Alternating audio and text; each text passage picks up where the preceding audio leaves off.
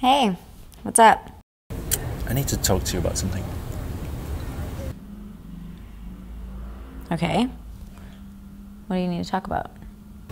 Thinking about a lot of stuff, and uh, it's really hard. Um, I I don't think we should be together. Is this this is you breaking up with me? Yeah, I mean, I think we're just in different places. There's a lot of stuff that you know doesn't click. So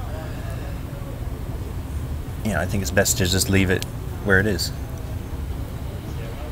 I don't get it. You were here last night and you said you loved me. I know, but there's a you know there's a lot of stuff that just um, you know what, where are we going to be in in two months in the same situation? Okay, yeah. That says it all.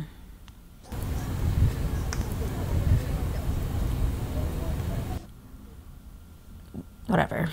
This is what you want, then it's fine.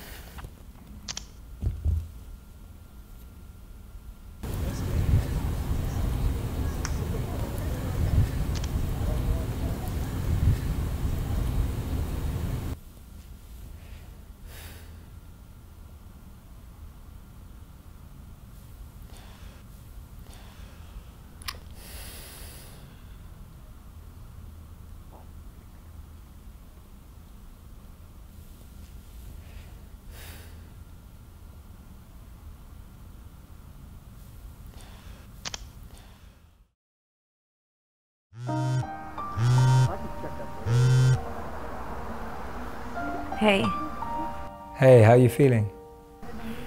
you know, not so good. Been in bed all day. I'm so sorry.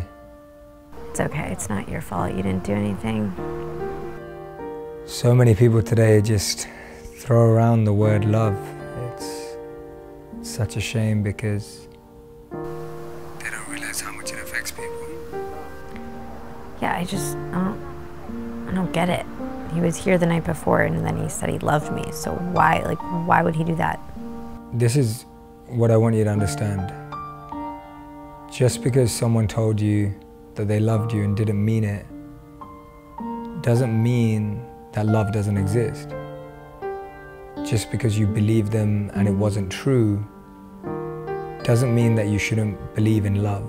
See, love didn't hurt you. Someone who doesn't know how to love hurt you. Don't confuse the two. I just feel stupid for saying it and actually meaning it. And now I realize he clearly didn't mean it when he said it. So that's cool. Just because they didn't mean it doesn't mean that there isn't someone out there who does mean it, who will want to love you, who will want to say it and mean it and believe it.